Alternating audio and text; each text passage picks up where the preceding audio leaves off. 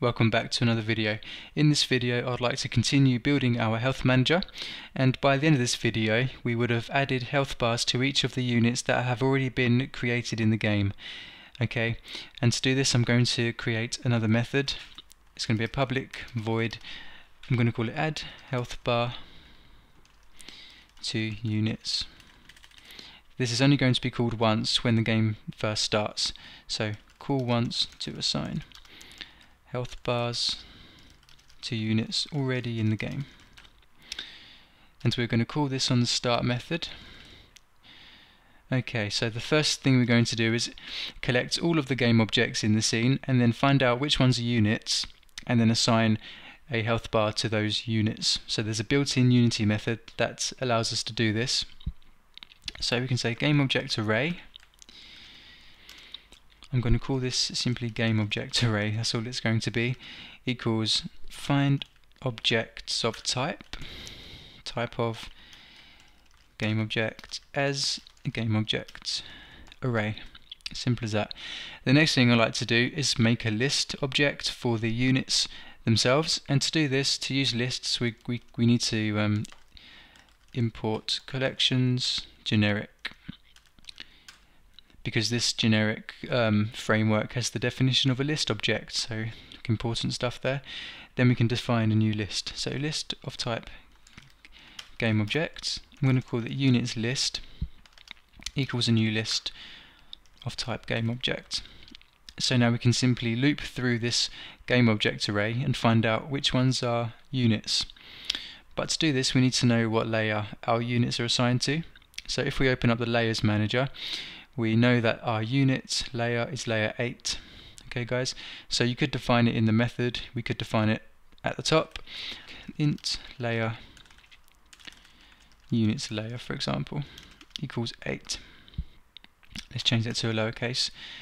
Okay, so looping through for int i equals 0, i is less than game object array length i++. Then we can say if the game object array at this index dot layer is equal to our unit layer, then we can simply add it to the unit list. Unit list add game object array at this index.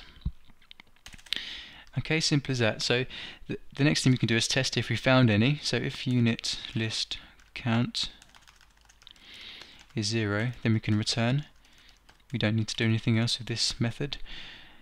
And if there is, we can convert the list to an array. So I'm going to make a game object array called units equals units list to array. Very quick way of converting a list to an array. And then we can simply add health bars to them using this method. We'll code out in a sec. So I'm going to loop i equals 0. i is less than units length i++ plus add a health bar. So adding a health bar, bringing in the game object, so unit at this index dot game object. Cool, and that's all we need to do, then we can return. Okay, so just to make sure this works, within this method I've debug logged the unit's name. Okay, so let's go back and see if we have any errors. Don't think we do. So we need to put our health manager on something in our scene so it works. I'm going to put it on the world object. And uh, we used this health bar sprite a few videos ago in a tutorial. I'm going to remove that. Don't need it anymore. So let's play the game. And in our console we have the solar farm, the female humanoid robot, and the robot units. So everything seems to work well. The system seems to realize these are units. Now we can go ahead and assign a sprite to them. Okay, so in order to do this, we need to refer to the sprite manager. So I'm going to attach it to the script as well. So public sprite manager. I'm going to call this health bar sprite manager and now we have a um, sprite manager object we can drag this on so here's the health bar sprite manager I'm going to drag this on now we can refer to it in our method So to do this, we need to find the health bar client. I'm going to call it health bar client equals unit transform find child health bar dot game objects. So for example, it, now we've found each of these units, we're going to go dive down, get to their health bar object, and then assign the sprite to it, and draw the sprite on top of it. Okay, guys. So we found the object, and now we can create the sprite itself. So sprite health bar sprite equals health bar sprite manager add sprite so let's just study these for a sec. We need the client object, health bar client. The next thing is the width. Um, I know for a fact that 6 units wide and 1 unit in height works very well. So the next thing we need to define is the lower left UV of the sprite. Okay, so it's going to be the full health, it's going to be the sprite in the top left. There's 10 rows and 10 columns, so we can simply say new vector 2 the, the, lower, the UVs work from 0 to 1 in x and y. So we can say 0 going across and point 0.9 going up. Then we'll be at the point of the first sprite, so this point here. The next thing is the dimensions of the sprite. Again, it's a new vector 2. And because each sprite takes up one tenth of the width, one tenth of the height, we can simply put 0.1 0.1 in UV coordinates. The next one is the offset, vector 3, 0. We don't want to offset the sprite in any way. The last option here is billboarded. Let's put false. And this is the sprite. Okay guys, we've, we've created the sprite at this point.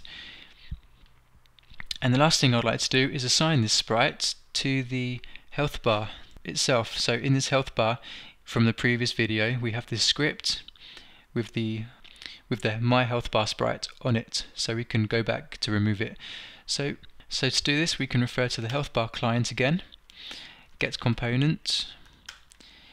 We called this Health Bar client script dot my sprite equals health bar sprite. So this is the uh, method completed now. Let's go and see if this works in the game. There should be sprites above each of our units. Here we go, so there's sprites on each of the robots and there's a sprite here as well. Cool, so before we move on configuring them and everything, I'm going to just code out this method here at the bottom. So to remove a sprite we need to access the sprite itself which we have stored here with the um, script, the health bar client script then we can simply use the remove sprite method from sprite manager okay? So let's do this now. We can I'm going to copy and paste the health bar clients from here as we've passed in the game object again. We can get health bar sprite by saying sprite health bar sprite equals health bar client get component health bar client component my health sprite. And we can cast this as a sprite. Once we have it, we can simply go to the sprite manager, remove sprite, health bar sprite. Cool, done. So just to recap what we've done here, we've got the um, the health bar game object from our unit. We know there's a script attached to this that refers to the sprites we've created, the health bar. Then we can simply go to the sprite manager and remove that sprite from it. Okay, so it's quite simple, but there's a lot of things acting together here. We have the sprite manager, the health bar system, and also the events and delegates, but we'll get to them later on. Cool, so everything works now. In the next video, we'll be um, rotating these so they always face the camera, because at this, at this current moment, as you can see, they don't do that and we'll also be controlling their visibility depending on whether we've selected the character. Okay, so thanks for watching the video. Hopefully I'll see you in the next video.